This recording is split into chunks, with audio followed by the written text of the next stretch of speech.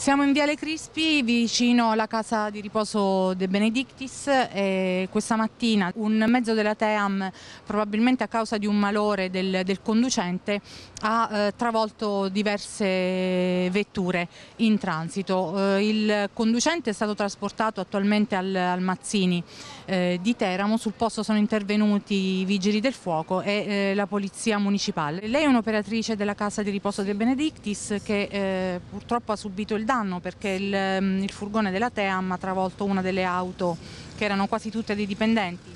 Eh, sì, purtroppo stavamo lavorando e abbiamo sentito quello che abbiamo sentito e è stata una tragedia per tutti. Grazie a Dio che ci siamo salvati, sono salvate le persone, questo sì.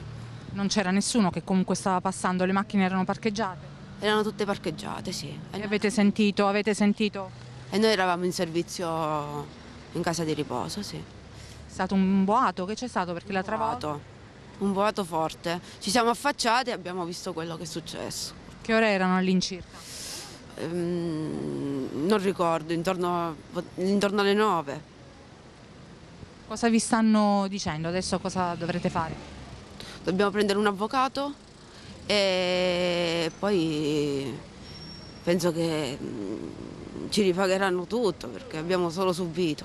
Quindi sono cose che succedono, grazie a Dio che siamo tutti, che non, non ho coinvolto le persone, però ecco il danno c'è.